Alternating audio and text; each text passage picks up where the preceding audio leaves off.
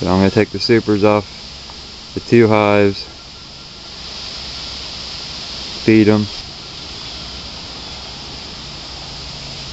I'm going to ang slope them this way a little bit so the water can drain off the entrance for winter. And then I have a couple of ventilation uh, ventilation box for each hive I'm going to stick on. And it just consists of uh, just a super, pretty much that I've taken and drilled holes in all the way through. I put this on to keep the rain from getting in, even though I drilled the holes at an upward angle.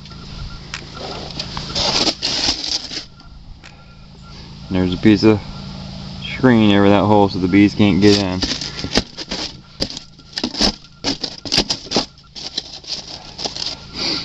And that hole is kind of an extra extra hole thanks to the little rodents running around here. And then I have a new ventilation box I'm going to try out this year. It was suggested.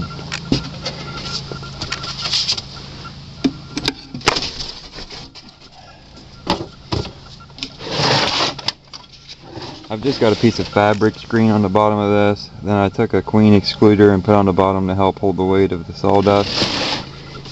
Now I'm going to spread it out to about a two and a half, three inch layer.